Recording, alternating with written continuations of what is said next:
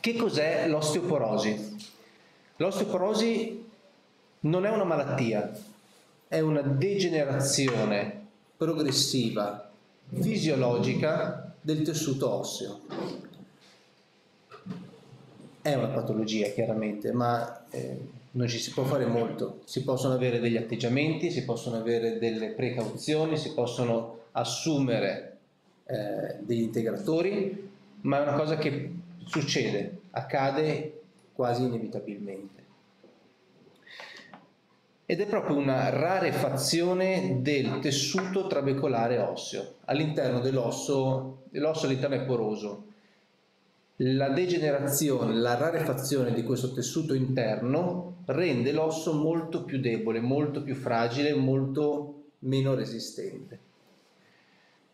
Qui abbiamo tre immagini, chiaramente non realistiche, di come potrebbe essere un osso, un osso sano, bello denso, bello, bello spugnoso, un osseo osteopenico, quindi con una iniziale carenza di questa struttura trabecolare, di questa struttura porosa, ed un osso osteoporotico, quindi un osso completamente deficitario di questa sua struttura interna. Allora qui non si vede bene si vede abbastanza sì.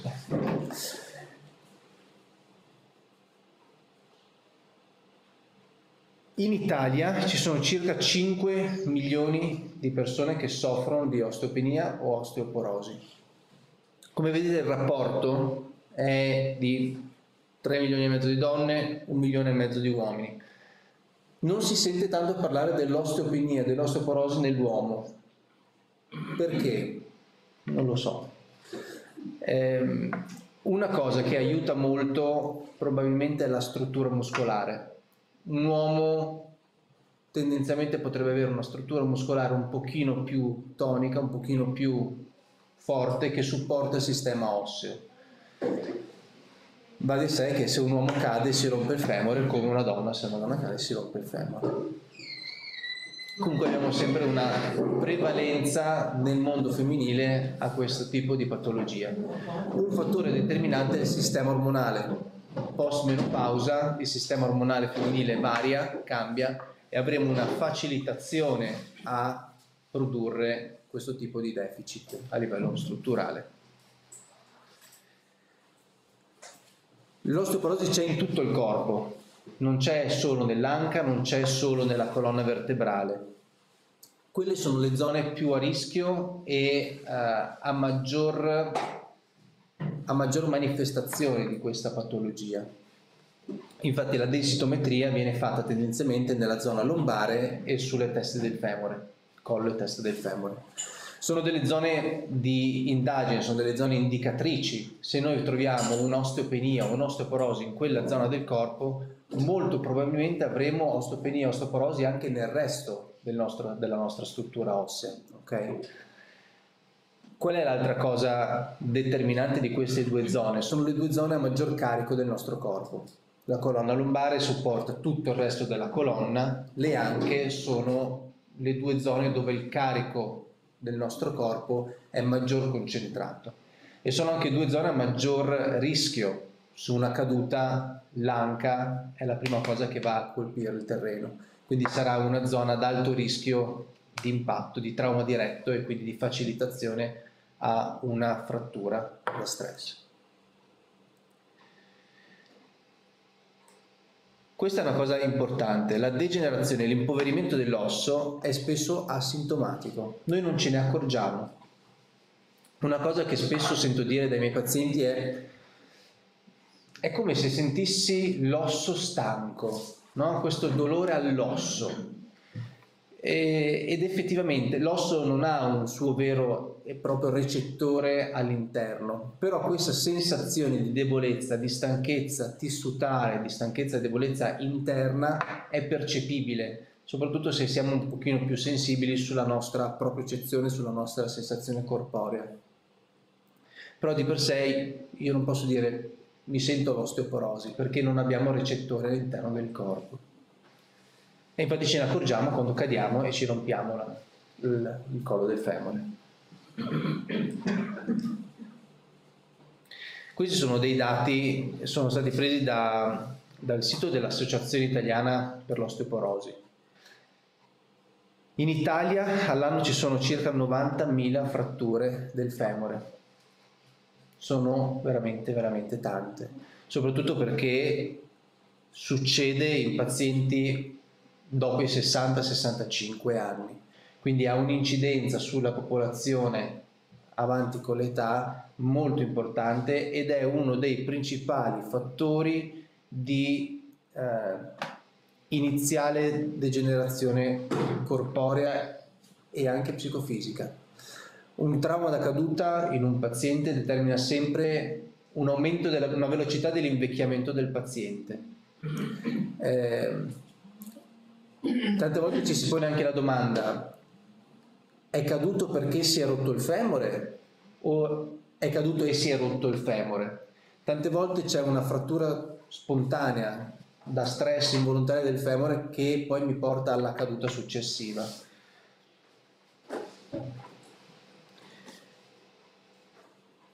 E appunto ci sono 18.000, quindi il 20% di queste fratture che rimangono disabili, rimane una disabilità data da questo trauma.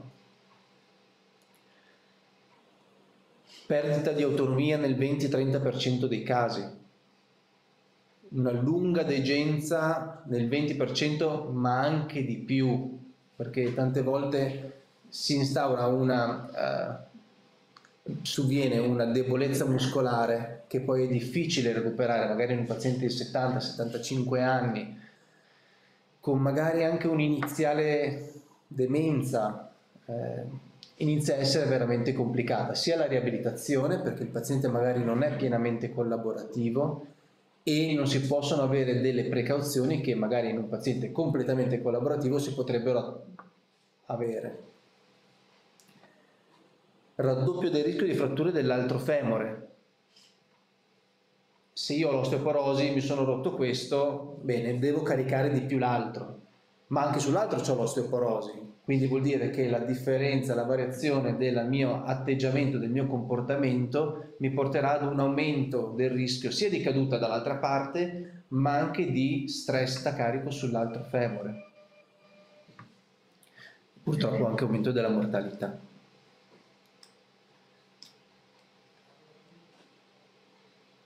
Una, una osteopenia, una degenerazione ossea a livello della colonna vertebrale che cosa mi porterà? Oltre a una riduzione dello spessore della colonna, mi porterà anche ad, ad ottenere delle, degli atteggiamenti posturali deficitari per sentire meno male, per cercare di stabilizzarmi il più possibile con quello che ho a mia disposizione.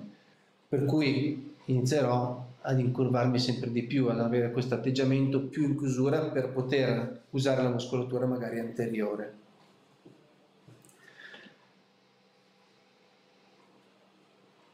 Il dolore poi si tramuta, prima ho detto che non abbiamo recettori all'interno dell'osso, non sento il dolore dell'osteoporosi, ma sul periosteo, che è la membrana che avvolge l'osso, siamo pieni di recettori, per cui questa compressione magari data dal mio atteggiamento posturale, questa compressione data da un carico sempre più deficitario che quindi mi crea delle linee di forza che non sono fisiologiche, la nostra colonna vertebrale dovrebbe avere delle curve fisiologiche.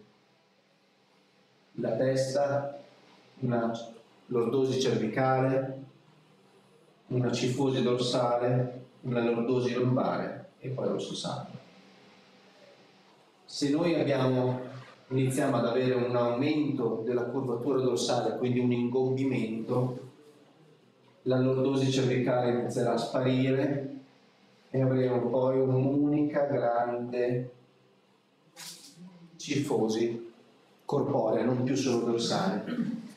Quindi la linea di forza, la gravità che prima faceva questo lavoro qui, capite che è tutto quanto molto anteriore rispetto alla colonna vertebrale. Se prima passava posteriormente alla lordosi cervicale e lombare, adesso passa tutto davanti, per cui devo fare questo perché la linea di carico sia sempre mediale al mio corpo.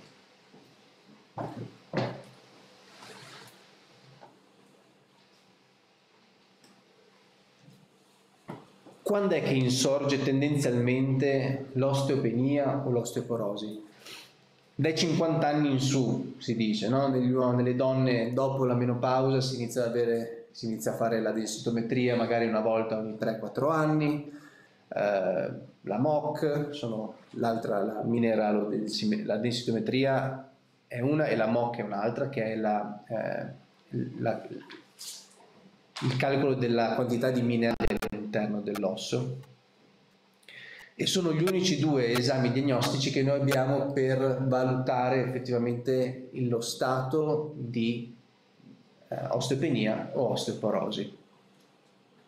Immagino e spero che l'abbiate già fatto tutte quante, almeno una densitometria. Bene. La DEXA? La DEXA. La MOC quando si fa?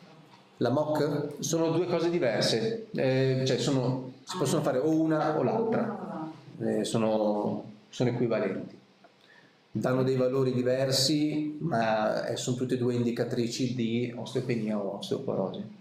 Farle tutte e due è possibile. Non ha molto senso perché se mi, fa già, se mi ha fatto la DEXA è comunque già un'impronta importante e è già diagnostico quello, quindi non ha senso fare anche l'altra.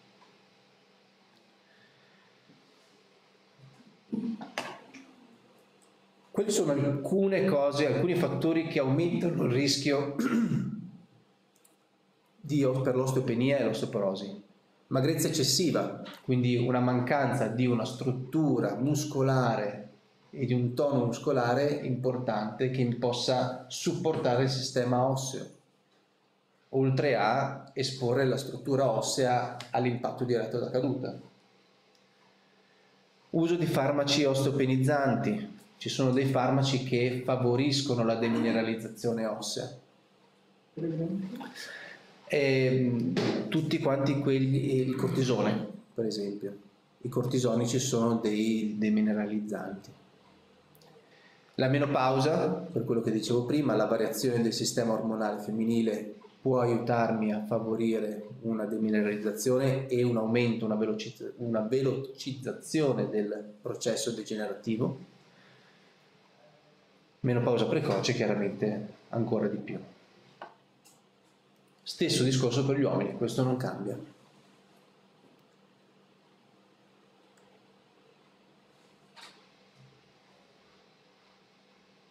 Come prevenire? Allora, ci sono, come dicevo, degli atteggiamenti che noi possiamo assumere per combattere questa, questa situazione, questa patologia. La vitamina D, la famosa vitamina D, che noi produciamo, sì, dicono d'estate non serve prendere la vitamina D perché c'è il sole. Anche oggi c'è il sole, ma noi adesso non stiamo producendo la vitamina D.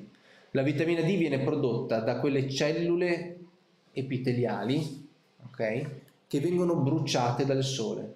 Per cui anche d'estate, se noi stiamo dentro casa o stiamo sotto l'ombrellone o prendiamo il sole sempre comunque con le creme protettive, noi non produciamo vitamina D perché creiamo un filtro, specialmente con le creme, un filtro meccanico o ormonale a seconda del tipo di crema solare che andiamo a utilizzare, anche questa qua è una cosa importante da valutare.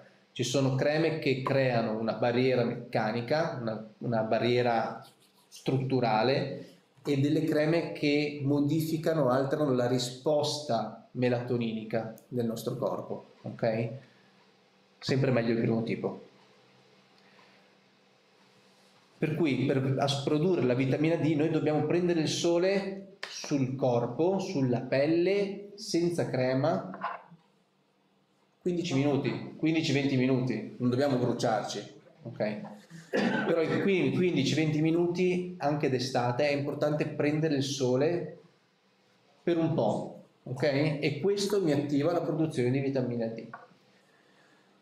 La vitamina D poi è importante fare l'esame del sangue per valutare esattamente qual è il nostro livello di vitamina D, perché troppo poca vitamina D non va bene, troppa vitamina D non va bene. Un'altra cosa che io tendenzialmente faccio eh, assumere ai pazienti insieme alla vitamina D è la vitamina K.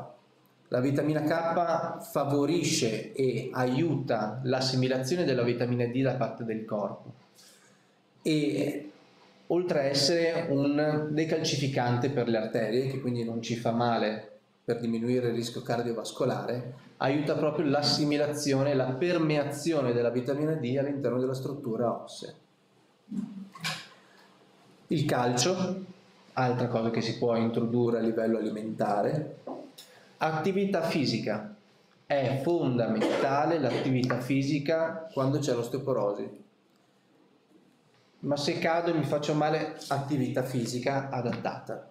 Okay? Quindi bisogna però strutturare, bisogna aiutare il nostro corpo a ridare struttura al nostro sistema muscolare e osseo. Eh, si è visto da degli studi scientifici che fare pesi, quindi proprio palestra, aiuta a prevenire e a combattere l'osteoporosi, proprio perché le linee di carico che noi andiamo a imprimere a livello osseo dato dalla trazione muscolare sullo stesso, mi aiuta a ricostituire un pochino le linee di forza delle trabecole ossee. Per cui è importantissimo, sarebbe assolutamente indicato a qualsiasi età fare un po' di pesi. I 2 kg, 3 kg sono più che sulla bottiglia di acqua, vanno benissimo. Chiaramente seguiti magari o con delle indicazioni da parte di uno specialista per evitare di farsi male cercando di farsi bene ci si fa male, ok? Però è assolutamente importante fare dell'attività fisica, che sia camminare, che sia andare in bicicletta, la ciclette magari, ok? Però è assolutamente importante l'attività fisica, perché meno struttura muscolare abbiamo, più osso abbiamo esposto. Più, meno, meno muscolo abbiamo, più deve entrare in gioco la struttura ossea per tenerci in piedi Chiaramente il fumo non fa bene, chiaramente il troppo alcol non fa bene. Quali altre terapie abbiamo per l'osteoporosi e l'osteopenia? La magnetoterapia frequenziale è sicuramente la terapia fisica più potente e più forte che noi abbiamo in questo momento per combattere l'osteoporosi e l'osteopenia le, a livello osseo tutte le magnetoterapie che siano ad alta o a bassa frequenza, alta o bassa intensità funzionano. Tendenzialmente funzionano meglio quelle ad alta intensità su una frattura ossea, su una struttura trabecolare deficitaria funziona molto meglio una frequenza bassa e un'intensità bassa perché penetra di più nei tessuti e raggiunge delle frequenze che sono quelle di, eh, di biorisonanza, quindi le stesse frequenze alle quali parla proprio il corpo umano. La linfa, per esempio, è appunto una terapia frequenziale, una magnetoterapia, una magnetoterapia ciclotronica, okay? Che emette queste frequenze variabili, quindi una sinfonia di frequenze, non è monofrequenziale o sinusoidale come frequenza, e stimola proprio la rigenerazione del tessuto osseo. Io ho fatto fare ai miei pazienti DEXA prima, DEXA dopo e abbiamo visto che c'è stato un netto miglioramento dell'osteopenia, in questo caso era, quindi una regressione della degenerazione del tessuto osseo e nel caso di osteoporosi su una paziente molto più anziana che aveva circa 75-80 anni ha fatto il suo bel ciclo, ne aveva fatto un altro, era caduta, era caduta per terra, il femore non si è rotto. Per cui eh, quello per me è stato un, un risultato veramente importante. Il paziente ha salvaguardato suo, la sua struttura, la sua qualità di vita. Quindi, eh, per esempio, i protocolli di lavoro qua prevedono 8-10 sedute a seconda, 8-10-12 sedute a seconda del, del, della gravità, della severità della patologia osteopenica o osteoporotica da fare una volta all'anno dura mezz'oretta due volte a settimana e si hanno dei risultati veramente eccezionali. Perché non te lo fanno fare il dottore? Allora, la struttura sanitaria pubblica questa cosa qua non ce l'hanno. Eh, però tendenzialmente sarebbe da fare, sarebbe una prevenzione veramente utile. Purtroppo anche i medici di base non la conoscono. Eh, stiamo provando a fare un lavoro di informazione, eh, solo che è difficile, la... non sono così recettivi a volte purtroppo. A Bolzano ce l'abbiamo io, ce l'ha un altro studio in, uh, vicino al cimitero, cioè, ci sono dei centri specializzati che hanno questo macchinario. Io lo studio in via Talbera, di fronte all'alfabeta. Dopo vi lascio comunque i recapiti eventualmente. Allora, questo è numero. Più è grave, più allora, in caso di un'osteoporosi severa, um, anche qui lì avete visto che c'era una stuoia lungo tutto quanto il lettino, in quel caso è un trattamento a specifico di tutto quanto il corpo, che io tendenzialmente prediligo anche a quello selettivo colonna e anca. Ma se per esempio abbiamo una osteoporosi estremamente severa, può succedere che uh, a fare la DEXA la colonna sta bene, è più o meno nel range di tolleranza biologica, l'anca ha una osteoporosi severa. Allora in quel caso magari non ha molto senso fare un lavoro a specifico di tutto quanto il corpo, ma ha più senso fare un lavoro specifico sulle teste dei femori, perché magari quel paziente ha avuto una degenerazione maggiore, ha un carico maggiore sulle anche rispetto che sul resto del corpo, per cui si va a intervenire direttamente su quello con degli emettitori specifici più piccoli. Um, chiaramente se io ho de- un deficit più importante avrò magari bisogno di più stimolo, però no, non fa male. Le uniche controindicazioni sono pazienti in gravidanza,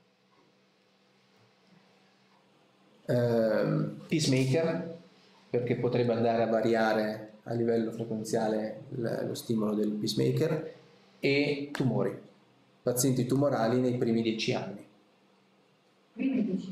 All'interno dei 10 anni post tumore non è indicato fare magnetoterapia, proprio perché la magnetoterapia è una biostimolazione, per cui andiamo a stimolare il tessuto. Per quanto le frequenze che vengono utilizzate siano specifiche e eh, dell'osso, non posso garantire che non ci sia una stimolazione anche di altri tessuti che è meglio non stimolare, per cui non si fa a meno che non ci sia un via libera dell'oncologo che dice no, no, è a posto, puoi farla. Però in quel caso... Prego? Non ci sono problemi perché le frequenze basse e la bassa intensità non va a dare risonanza con gli impianti metallici. Quindi, anzi, post, post protesi ci sono altri eh, protocolli di lavoro con, quella, con quel macchinario Ehm, che sono assolutamente indicati nelle prime due settimane post protesica per ridurre l'edema, per ridurre la flogosi, per ridurre il dolore a livello tissutale interno.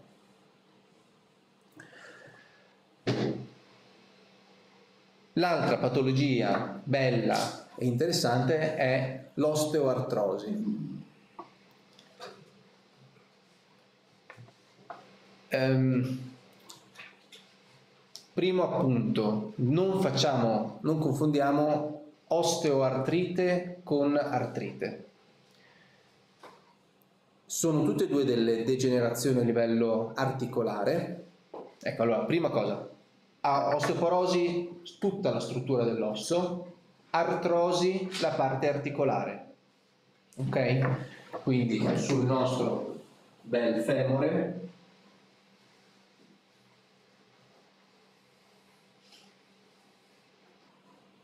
avremo il nostro ginocchio, osteoporosi prenderà tutta la struttura tutto l'osso, ok? Noi lo vedremo dalla grandezza e dall'immensità della testa del femore. Artrosi prenderà tendenzialmente la parte articolare, proprio perché è una degenerazione del rivestimento delle nostre articolazioni, della cartilagine. ok? Anche qua è una questione degenerativa fisiologica, c'è sempre stata, sempre ci sarà, si possono avere degli atteggiamenti, delle precauzioni per combattere, per prevenire, per eh, attenuare la sintomatologia, ma anche qua non è che possiamo non averla, eh, viene, purtroppo viene. La differenza tra osteopo, osteoartrosi o osteoartrite, perché la traduzione dall'inglese osteoartritis, sono la stessa cosa, osteoartrosi e osteoartrite, ma non è l'artrite. L'artrite è una patologia autoimmune, ok? Eh, che tante volte prende soprattutto le piccole articolazioni delle mani, dei piedi. Okay? L'artrosi è più frequente vederla nelle grosse articolazioni, nelle ginocchia, nelle spalle, eh, a livello della colonna vertebrale, proprio perché essendo la patologia del rivestimento articolare viene dove c'è un maggiore stress articolare, dove c'è un maggiore stress eh, della nostra articolazione del tessuto, ci sarà una degenerazione più veloce, più rapida e maggiore.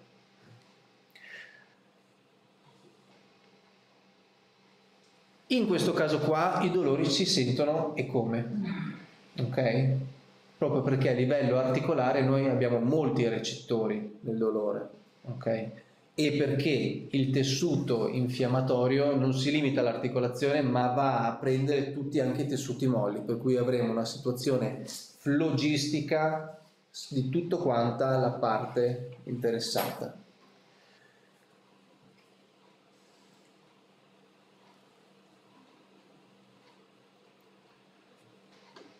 Mm.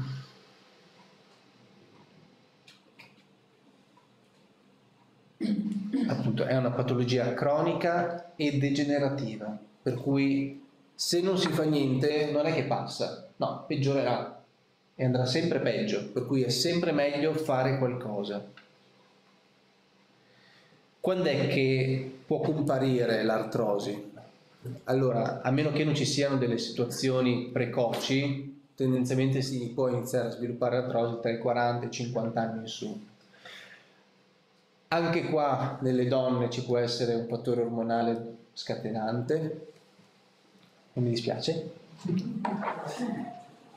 E, e dopo i 60 anni ci può essere un picco degenerativo, un picco Proprio perché? Perché la struttura muscolare tante volte degenera, quindi non abbiamo più quel bel supporto muscolare tonico che ci tiene in piedi, che ci aiuta a camminare, che ci aiuta a fare le cose, ma siamo sempre di più a supporto osseo della nostra funzionalità di vita quotidiana. Per cui se ci muoviamo, ci muoviamo sulle ginocchia, non ci muoviamo con i quadricipiti. Ok? Appunto, in alcuni casi può succedere sotto i 40 anni. Mi è successo di vedere dei pazienti di 38-40 anni fare una protesi al ginocchio perché avevano l'articolazione completamente degenerata, completamente mangiata. Eh, capita, purtroppo capita. Sicuramente un fattore scatenante in età così precoce può essere una degenerazione articolare post-traumatica, quindi incidente, trauma, ho una frattura o magari non ho una frattura ma mi si è creato un edema osseo intraspongioso. La spongiosa è quella struttura che c'è all'interno dell'osso che mi indebolisce l'articolazione, mi indebolisce l'osso e quindi andrò a dare maggiore carico. Oppure appunto post-traumatica dall'altra parte, zoppico per un anno. Per un anno zoppicato, per un anno ho appoggiato male il piede, per un anno quell'osso è stato preso a, massa, a sassate tutti i giorni, ogni passo. Quell'articolazione avrà una degenerazione molto più rapida e molto più importante del resto del corpo e anche a dispetto dell'età che noi abbiamo. Principali sintomi. Calore. L'articolazione artrosica sarà calda. Dolore.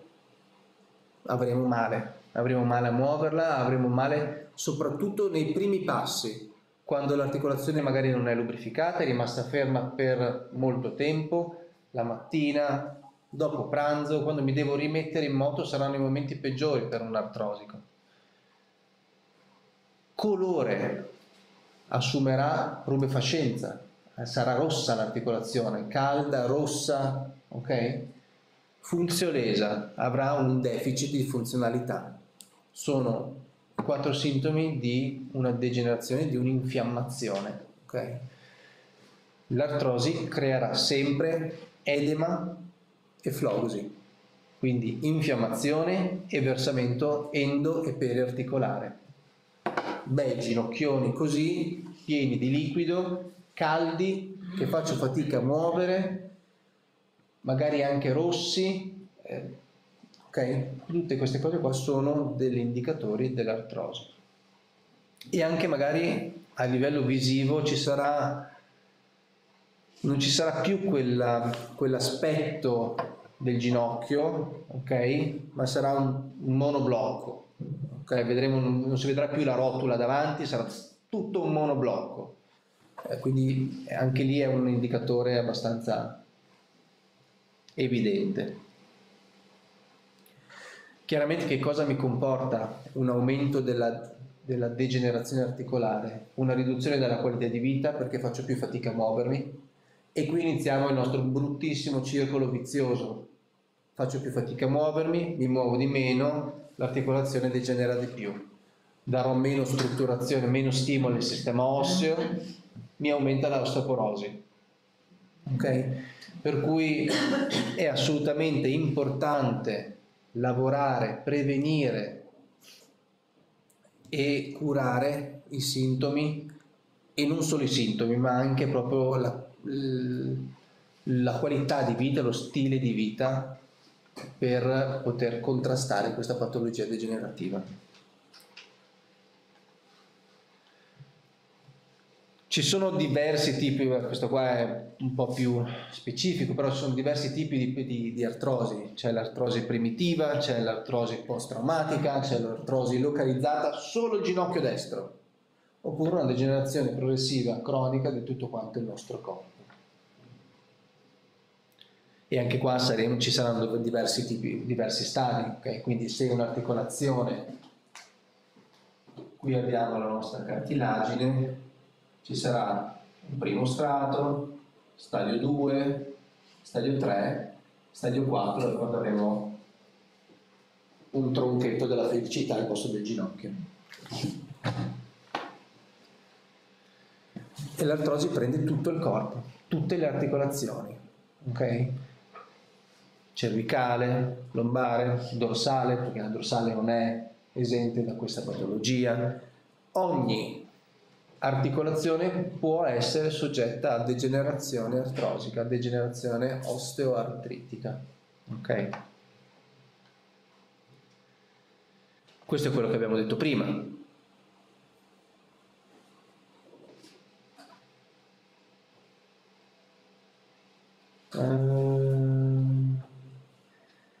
L'artrite appunto è una patologia infiammatoria autoimmune cronica. Non è correlata a fattori specifici e può manifestarsi in persone di tutte le età. Quindi non è correlata all'età, ma se una, una persona manifesta artrite, ovvero una patologia autoimmune, vuol dire che il nostro sistema immunitario va ad attaccare il nostro stesso corpo. Può manifestarla a qualsiasi età. E anche qua i sintomi saranno più o meno gli stessi, tumefazione, rigidità articolare dolore, che si presenterà in qualsiasi momento. Sull'artrosi ehm, avremo dei momenti in cui avremo più male, no? quando ci rimettiamo in una, al cambio del tempo, okay? quando ci sarà una variazione dello stato dell'articolazione. Sull'artrite invece sono fermo sul divano, dolore lancinante. Che cosa possiamo fare contro l'artrosi? Terapie conservative. Sicuramente la fisioterapia è la prima indicazione data dagli ortopedici per contrastare la degenerazione articolare. Anche in questo caso qua la magnetoterapia frequenziale è assolutamente indicata. Varieranno le frequenze che si utilizzeranno, non si utilizzerà più solo la frequenza ossea, ma si utilizzerà una frequenza di rigenerazione e stimolazione connettivale, quindi per le cartilagini, ok? O, e la linfa, sempre quella. La TECAR è un'altra cosa. La TECAR lavora tendenzialmente di più a livello dei liquidi del corpo. È, uh, è, mette in comunicazione la piastra e il manipolo, ok? Quindi c'è una mobilizzazione delle molecole di acqua all'interno del corpo questa, questa, mobilizzazione crea energia cinetica che si trasforma in energia termica, quindi quello è data dal calore che si sente quando si fa la tecker è dato da quello. Ha un'azione antinfiammatoria perché questa mobilizzazione mi aiuta a portare via gli agenti infiammatori, ma non è, eh, non è biorigenerativa, non va a rigenerare i tessuti. Va a stimolare, sì, va ad aiutare il tessuto a guarire, sì, ma non è uno stimolo di rigenerazione tissutale. Per cui fa bene in acuto sì perché mi aiuta a sfiammare, assolutamente, però non mi cura l'artrosi. Mi tratta il sintomo, ma non mi cura l'artrosi.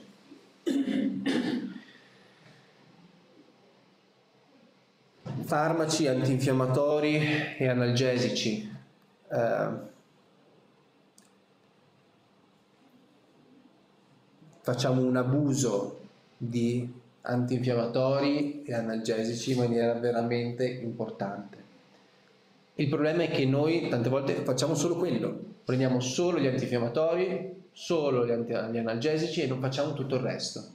Questo ci crea, eh, non, non, ci aiuta, no? perché noi prendiamo solamente la pastiglietta, ah, prendo il mio bel bruffo due volte al giorno, l'arcoxia e via, ma questo, soprattutto l'analgesico, è come se noi avessimo la nostra bella spia della macchina che dice manca olio, noi ci mettiamo sopra uno scotch, non vedo niente, la macchina non mi dice più niente, ma l'olio manca.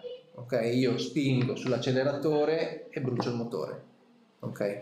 Quindi prendo il mio bel antidolorifico, mi vado a fare la mia camminata in montagna di 8 ore, torno a casa il giorno dopo ho un ginocchio così. Per cui è importante combinare sempre le attività che si vanno a fare. La fisioterapia non esclude magari l'antinfiammatorio, ma magari mi previene dal doverlo assumere con tutta questa frequenza, con tutta questa intensità.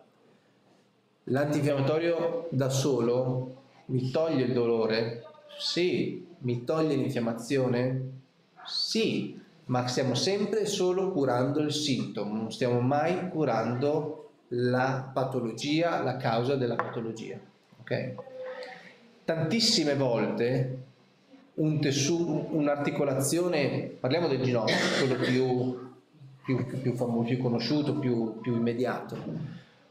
Un ginocchio artrosico tante volte non è supportato da una struttura muscolare o ha una struttura muscolare tonica ma è estremamente rigida, quindi anche l'elasticità muscolare è assolutamente importante. Avere una contrattura così sul quadricipite mi riduce la capacità muscolare, mi riduce la capacità del muscolo di supportare l'articolazione e mi aumenta quindi l'impatto articolare nella camminata. Per cui, ma io faccio palestra, faccio muscolo, io ho un muscolo. Sì, ma il mio muscolo non è elastico, è duro, è rigido e ha un groppo così dentro. Okay? Anche questo mi va a dare dei problemi a livello dell'articolazione, perché l'articolazione eh, ha sopra un tirante d'acciaio, non ha un elastico, ok? E quindi bisogna lavorare anche sul tessuto muscolare. Usare il mio rilassante? E siamo di nuovo qua sulle pastiglie. Sì, beh. No, qua si lavora sulla terapia. Terapia che può essere mm, fisioterapia. Esatto. Quindi rilassare il muscolo. Sì, andare, sì. a rilassare. Andare, a togliere, andare a togliere quelle retrazioni muscolari e tissutali che ci possono essere create. Il mio rilassante è a specifico, a meno che lei non mi faccia una puntorona di muscoril intramuscolare in quel punto, cosa che lei non può fare, eh, comunque è a specifico, per cui lei in realtà prendendomi un, un mio rilassante mi va a togliere tono a tutto quanto il sistema muscolare, eh, che non va bene. Io ho bisogno del tono muscolare per supportare, soprattutto del tono della muscolatura tonico-posturale, che è quella piccola muscolatura stabilizzatrice profonda che ci tiene su in piedi.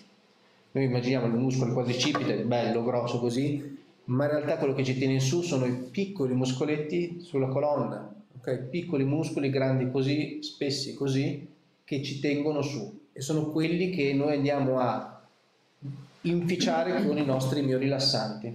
Ok? Per cui prendo il mio rilassante. Perché la cosa è molto caldo, calda e tutto Sì.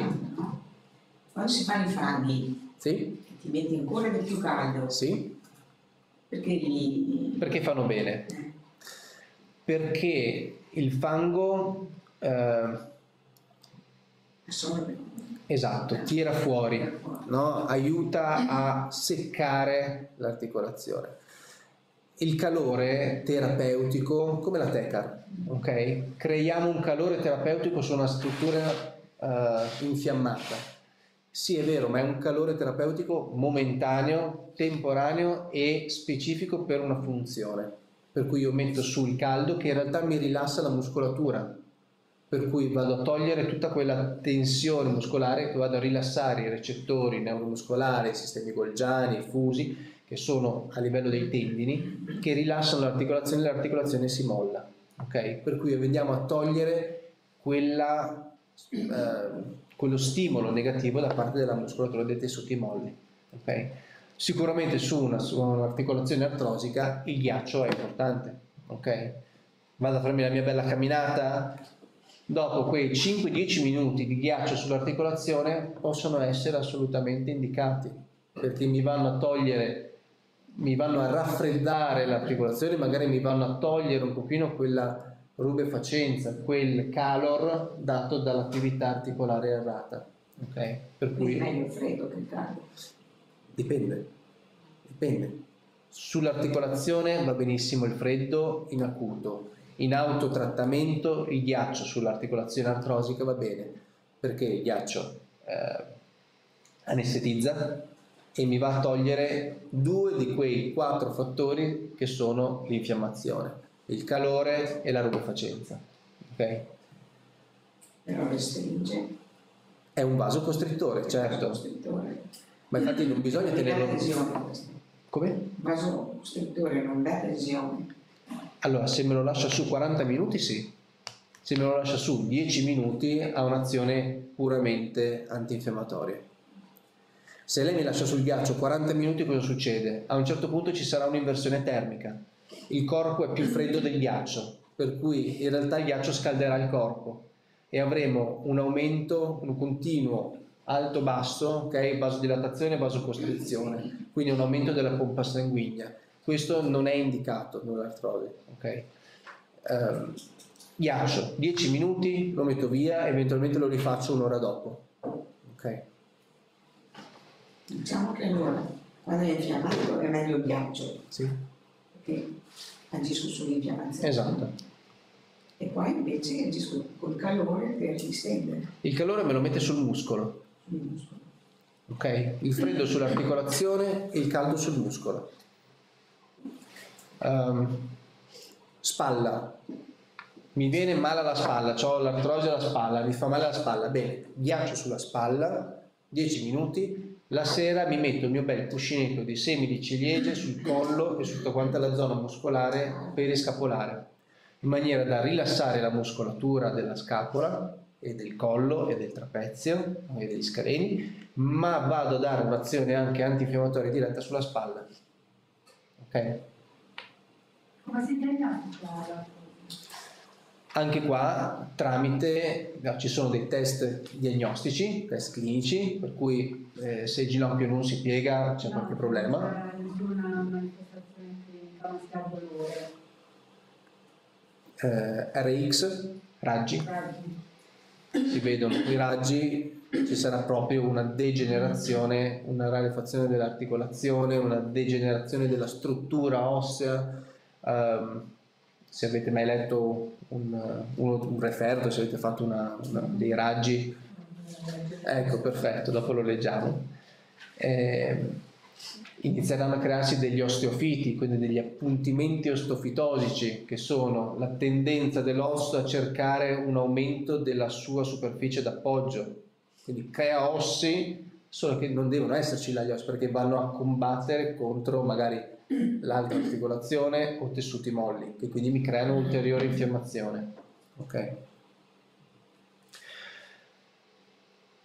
Terapia eh, iniettiva locale, acido ialuronico. L'acido ialuronico può essere ad alta o a basso peso molecolare. L'acido ialuronico è un lubrificante, ok? Che noi buttiamo all'interno dell'articolazione. Ci cura, ci guarisce dall'artrosi? No. Temporaneamente ci darà un sollievo perché noi mettiamo del liquido all'interno dei nostri cuscinetti. Quindi aumentiamo lo spessore articolare e gli diamo un po' di lubrificazione, ma eh, dopo un po' finirà l'effetto e bisognerà rifarlo di nuovo.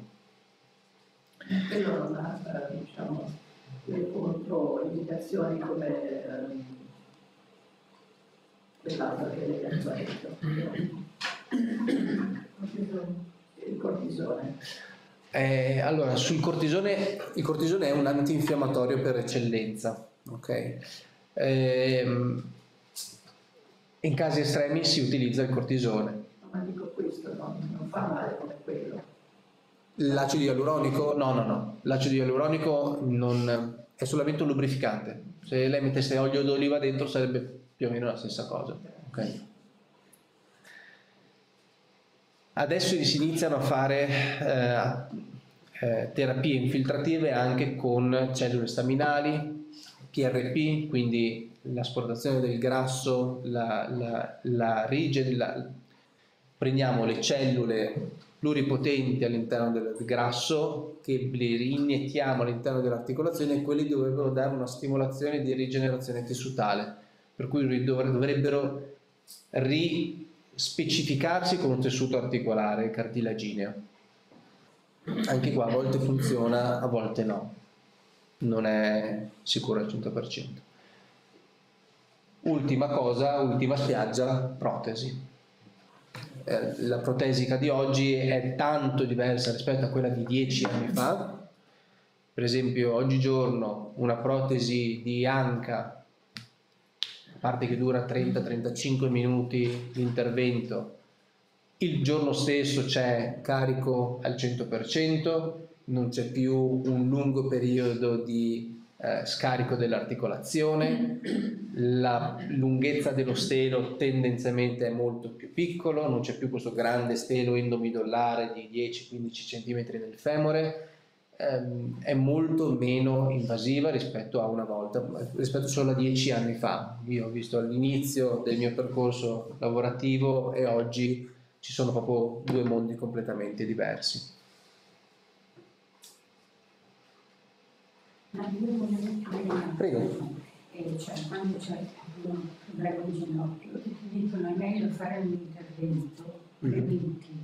Mhm. Ha senso fare un intervento preventivo che bisogna vedere come, come va poi alla fine o aspettare che ah, Allora, bisogna riuscire a intercettare il momento giusto. Non ha senso, a mio avviso e personalissima opinione, fare un intervento quando non ce n'è ancora la necessità. Non ha senso aspettare di essere rovinati. Ok?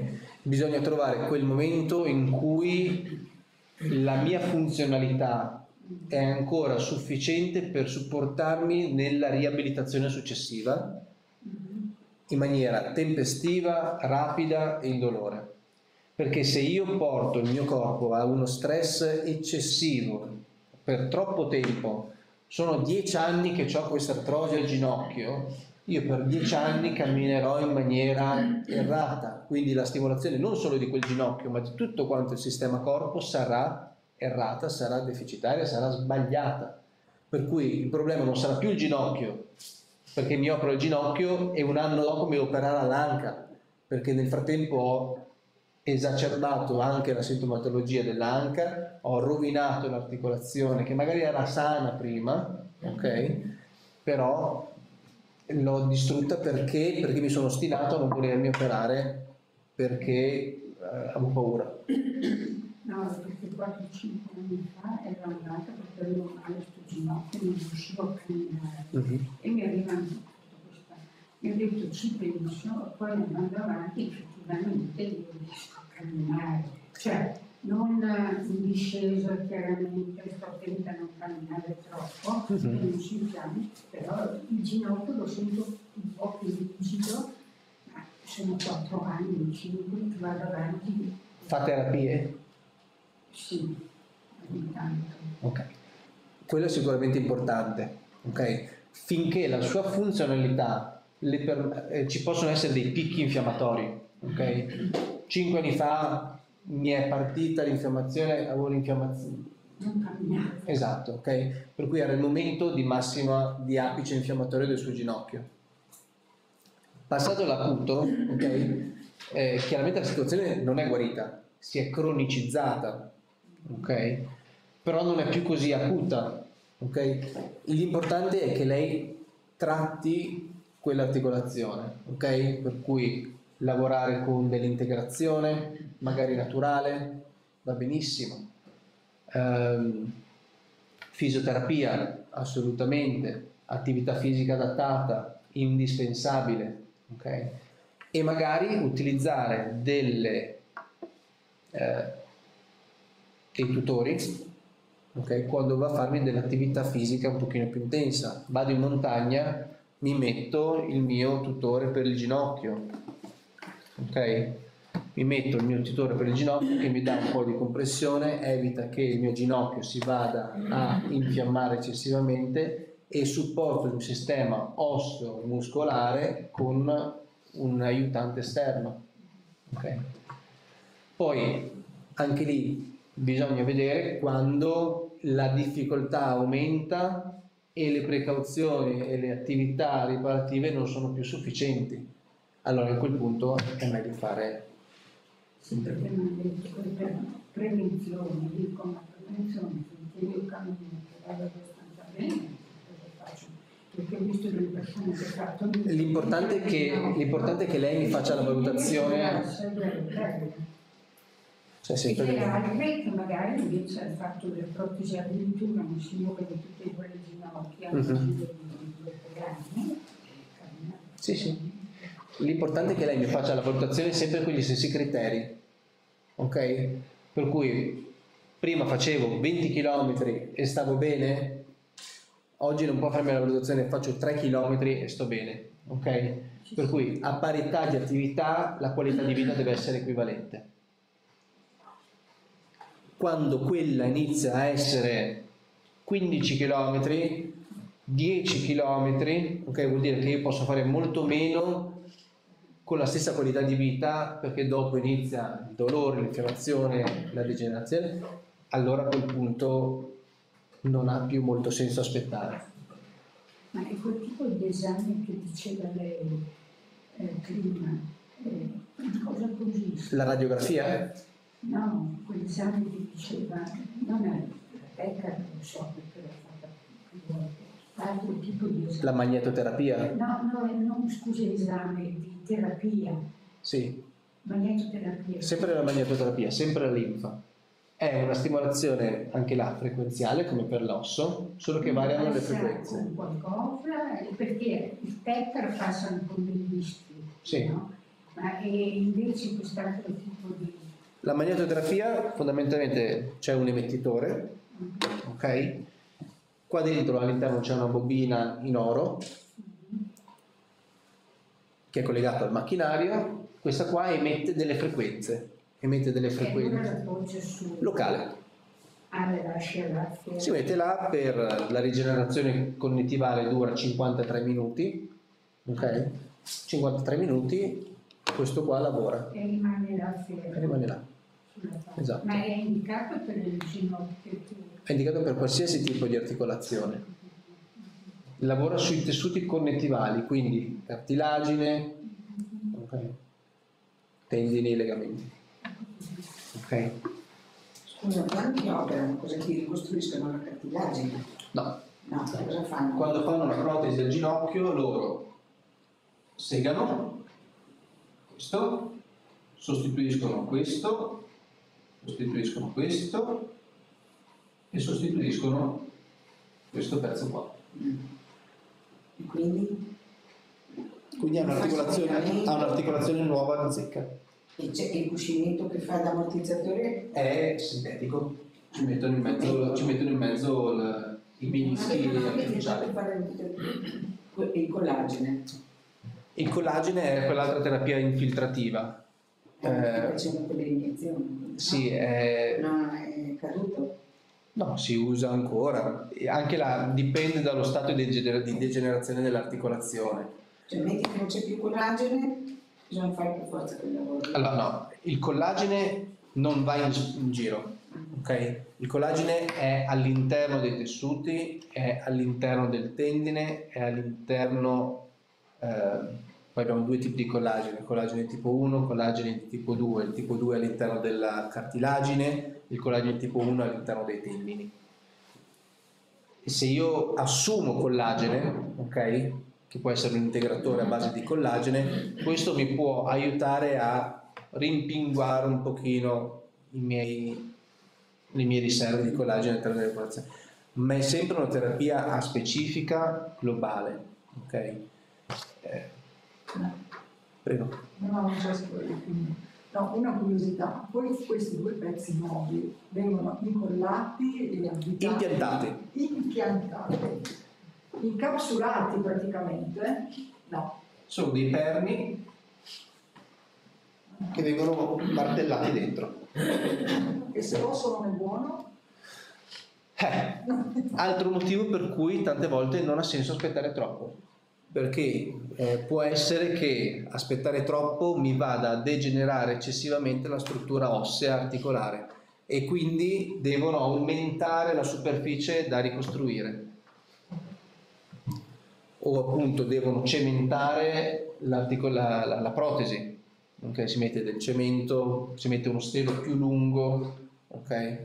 per cui va si modifica un pochino, il concetto è lo stesso, anche sull'anca loro segano qui e mi mettono un nuovo stelo e sulla parte acetabulare loro vanno dentro con la lima, limano e mettono la nuova superficie articolare. fanno miracoli. Eh. Ecco. Questa è la parte brutale del... A livello alimentare anche qua abbiamo delle cose da poter fare, quindi ci sono degli elementi infiammatori, la carne rossa può essere un po' infiammatoria, i latticini possono essere infiammatori, l'alcol è assolutamente infiammatorio, ok? E invece ci sono altri alimenti che sono antinfiammatori. L'omega 3. L'omega 3 è un integratore fondamentale che noi non guardiamo mai. Eh, il rapporto tra omega 3 e omega 6 dovrebbe essere di 2 a 1. Io ho fatto un esame, avevo un rapporto di 21 a 1, quindi avevo una carenza gravissima di omega 3. Questo può predisporre il corpo a una instaurazione, a una cronicizzazione del sistema infiammatorio corporeo. Quindi vuol dire che io creo infiammazione molto più facilmente. Perché? Perché ho, acidi ba- ho gli acidi grassi, gli omega 3 troppo bassi. Per cui bisogna integrare l'omega 3. Dove lo troviamo? Nel pesce azzurro, nel salmone, nelle noci, ok? Eh, mandorle, Frutta secca. frutta secca oppure nell'integrazione specifica. E lo fanno attraverso l'esame del sangue allora? Eh, allora, non tutti, nel senso che è un esame abbastanza specifico che in Italia non viene fatto così di frequente, l'omega 3. Eh, io per esempio lo faccio con un test capillare, ma devo inviare eh, in un laboratorio in Norvegia. No, della EQ si chiama. Creduto. Sì, però sono tutti quanti laboratori est- esteri e Esatto, esterni, sì. eh, perché in Italia non, non si fa. Sarebbe così importante però, Eh sì. come tutte le cose. Eh sì. E l'omega 3 a livello articolare mi riduce quel stato infiammatorio cronico che può esserci in una situazione artrosica importante, per cui è assolutamente indicato, è assolutamente insieme alla vitamina D e alla K2. Ma basta una pastiglia. Dipende da che integratore prende. La vitamina D lei consiglia quella dolce o quella, eh, diciamo, c'è quella da per un mese, per, da prendere ogni giorno per quattro mesi? Allora, concettualmente a me piace di più l'assunzione continuativa, in maniera da non creare il picco del di base a 100.000 unità una volta al mese e poi piano piano andiamo di nuovo giù nella curva. Mi piace molto di più l'idea di mantengo costante la mia integrazione in maniera che il mio livello di vitamina D sia sempre costante all'interno del corpo perché sennò creiamo sempre questi picchi. P 100.000, 100.000 unità, 0. 100.000 unità, 0. Giorno per giorno. Beh, Esatto. E la vitamina K si trova insieme alla vitamina D? Dipende, ci sono degli integratori che sono combinati, ci sono degli integratori separati. Quello varia dalla, dalla marca, varia... Grazie. sì. È una volta, e delle voci una volta alla settimana. Piuttosto che una volta al mese va bene. Cioè, nel senso, se io devo prendere... Però ogni giorno. Ehm, dipende dall'integratore, nel senso prendere il di base tutti i giorni non è possibile, per esempio. Se io devo assumere 100.000 unità al mese perché ho una grossa carenza di vitamina D, eh, tendenzialmente Dovrei dividere. Posso prendere 25 a settimana, prendo 50 due volte al mese, eh, l'emivita della vitamina D è di 3 settimane, 18-20 giorni, per cui se io la prendo all'1 del mese e l'1 del mese successivo ho 10 giorni che sono scoperto. Eh, per cui a me personalmente piace di più l'idea di mantenere costante l'integrazione quotidianamente in maniera da non avere picchi, e picchi positivi e picchi negativi. Perché anche il picco positivo non riesco ad assimilare tutta quella vitamina D in un, in un unico momento. Per cui preferisco che il mio sistema lavori costantemente tutti i giorni un po' alla volta e sia costante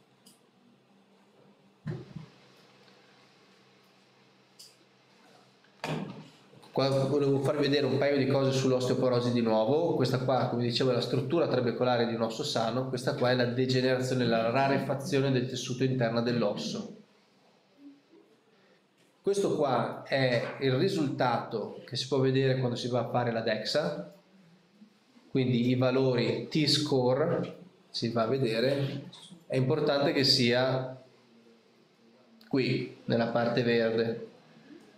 Quindi, per esempio, questa colonna vertebrale, anche se è scogliotica, che è storta, però ha un T-score che è più o meno nella media per la sua età, ok? Si vede qua sotto l'età e qua si vede il T-score. Questa qua è una colonna vertebrale leggermente osteope- osteopenica, quindi è iniziale degenerazione. Si deve fare qualcosa? Assolutamente sì, devo stimolare la colonna vertebrale, posso iniziare a fare una, una, una, un'integrazione specifica per questo livello di, di osteopenia e di degenerazione, un ciclo ogni due anni di magnetoterapia, magari invece che una volta all'anno se fosse più grave, magari mi previene e mi fa tornare indietro la degenerazione. Anche là dipende 8, 10, 12 tendenzialmente a seconda della gravità due volte a settimana per eh, dura mezz'ora quello dell'osso Quanto costa? 35 euro, io faccio magari 35 euro la seduta. Ma allora sta meno del tetto. Sì. Eh, la diagnosi di questo- questa è una, Questa è una DEXA. Questo è l'esempio che facevo prima, no? che c'è la colonna osteopenica, l'anca che sta benissimo perché è assolutamente non- è solo sì. Quindi si può vedere anche da questo esame una osteoporosi. Eh, s- s- mm, sì, nel senso che non è specifica. Non è specifica. Se qua ci fosse... Allora, questo qua è una colonna vertebrale assolutamente osteoporotica. Ok? Vediamo che, che il T-score è molto basso, 1.4. Ok? Vuol dire che siamo nell'osteopenia. Scusate, il T-score è 4, la Z-score era 1.4, vuol dire che siamo pesantemente osteoporotici, ok? A livello artrosico non c'è una definizione bella netta delle articolazioni, per cui è plausibile che ci sia anche artrosi e degenerazione articolare oltre che degenerazione della struttura ossea. Però stiamo valutando un'altra cosa.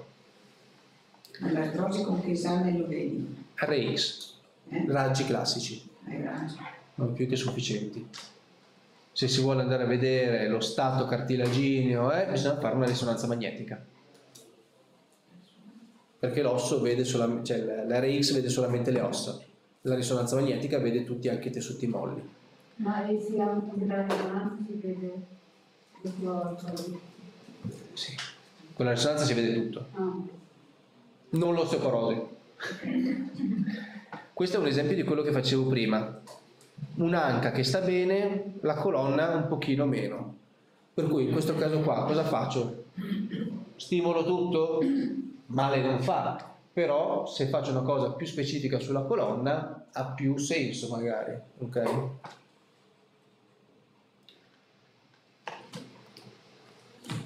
Basta, ho finito. Comunque danno anche per l'osteoporosi quella calcio, adesso non so il nome del farmaco. L'aldronato. Allora, per l'osteoporosi ci sono eh, diversi tipi di terapie farmacologiche che vengono date. Terapia per l'osteoporosi ha parlato calcio, ma ha visto il disegno del latte. Sì, no, ci possono essere, la calcitina può essere, eh, ci sono degli integratori alimentari a livello di calcio. Il calcio è molto più facile da assumere a livello alimentare, per cui Ma quando è severa l'osteoporosi? eh, quando è severa bisogna integrare in maniera più importante magari. Certo. Però anche lì col ca- Questo eh, calcio, com'è che si chiama? bifosfonati danno tante volte, Bifosfonati. eh. Fanno male, hanno controindicazioni? come tutti i farmaci.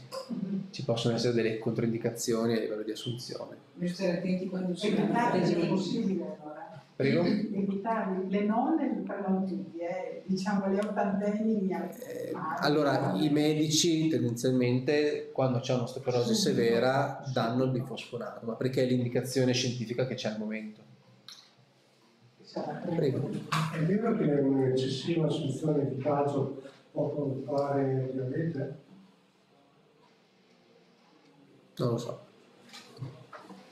Non lo so. Rispetto al calcio, se negli esami risulta un valore normale di calcio, Mhm. cioè, deficienza, Se bisogna integrarlo se ci sono i valori giusti? eh, cioè, come la vitamina D, però non so a volte sono esami che Allora, la vitamina D tendenzialmente c'è un valore da 0 a 100, ok? Il valore giusto da avere è tra i 40 e i 60. Se uno ha sotto i 40 deve integrare, se uno ha sopra i 60 non deve integrare. certo, ma il calcio quando ha valori normali, o la, B, la B12, Vuol dire che il problema non è quello. eh, se i suoi valori sono normali, eh, c'è una, mm, magari una, una incapacità di assorbimento, può essere? Ma se i valori sono normali vuol dire che il corpo lo assimila quel, quel- Ok. Cioè, eh, come dicevo prima, l'osteoporosi non- è degenerativa, è, è fisiologica, cioè vuol dire che noi dobbiamo dare uno stimolo diverso da quello integrativo. Come dicevo prima, non c'è solo l'integrazione, ci sono altre cose che bisogna fare. Appunto, si possono prendere i bifosfonati, che magari c'è bisogno di quello. Eh, non c'è solo il calcio, c'è anche il fosforo, ok? Per esempio. Cosa fanno di, di, Lavorano sul a livello trabecolare, a livello- lavorano all'interno della permeabilità ossea del fosforo e del calcio. di trattiene? Sì, Poi fa entrare Trattiene il meglio. calcio e trattiene. Fa entrare meglio che trattiene. Per fare queste applicazioni di magnetoterapia, no? Sì. cioè uno può iniziare allora così senza prescrizione medica, cioè cosa serve? Niente. Niente, uno va... Se uno ha l'indicazione ho l'osteopenia, bene. Però deve andare sempre da un medico e diagnosticare questa roba. Cioè, Beh, è chiaro, non posso inventarmi di avere l'osteopenia. Quello no, certo. Ma per quello dicevo, dopo i 50-60 anni tendenzialmente è indicato fare una densitometria, ok? Perché? Perché per età siamo nel range di età corretta per poter manifestare questa patologia, perché è il momento giusto per poter attuare tutta quanta una serie di precauzioni per evitare di degenerare ulteriormente. Insomma, è un buon momento per fare un punto della situazione e capire dove siamo. Cioè, con questa diagnosi uno prenota presso questi studi Esatto. si fa le applicazioni. Esatto. Benissimo. Grazie. A lei. E i crolli, cosa sono questi crolli? Sta parola crolli succede. Crollo vertebrale è quando l'osso crolla. Ma anche senza dolore succede. Senza cosa succede. Difficile. Allora, succede, sì, può succedere che uno non se ne accorga, perché può essere un crollo, uno schiacciamento progressivo. Non ci immaginiamo un palazzo che crolla, ok? Può essere un progressivo schiacciamento e impoverimento del- della struttura di quella vertebra, magari. Però... No. E quando ci si abbassa è un segno di osteoporosi, quando i pantaloni diventano sempre troppo lunghi. Allora, fisiologicamente, fisiologicamente il nostro- il no- la nostra struttura ossea si consuma, si viene mangiata, ok? Per cui nel corso degli anni è inevitabile che noi ci abbassiamo. E può essere un segno di osteoporosi, ma anche qua non è, specie- bisogna fare la, la densitometria. Riguardo al dolore, no? Osteo? Sì. Che praticamente sono membrane, no? Cioè le membrane che si copre l'osso, dicevamo. Sì. Eh, questo tipo di dolore, qual è il, il, diciamo, come si caratterizza? Punture, dolore? Arrivederci. Allora, come ho detto prima, non c'è il, il dolore dell'osteoporosi, non crea dolore, perché noi non abbiamo recettori all'interno della struttura ossea. Eh, ma la membrana è esterna, non viene inficiata dall'osteoporosi tendenzialmente. ok? Quello che una persona, una persona può... eh, una paziente adesso sta facendo il ciclo di magnetoterapia. Quello che lei mi ha riferito è stato mi sento l'osso più forte, mi sento l'osso più forte. Cioè sono- eh, è difficile dare una, una cosa per tutti, cioè, ognuno ha la sua percezione, però non c'è un dolore dell'osteoporosi.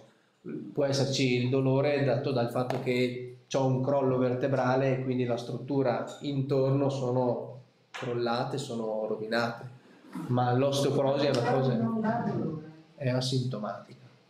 Me ne accorgo quando cado e mi rompo. Lì fa male. Non hanno ancora inventato una pillola anti-invecchiamento, insomma, che non si... Perché qua va tutto... No. si degrada, tutto si... Ecco. Grazie. Ci mettiamo le pezze, poi Bene. un po' di là.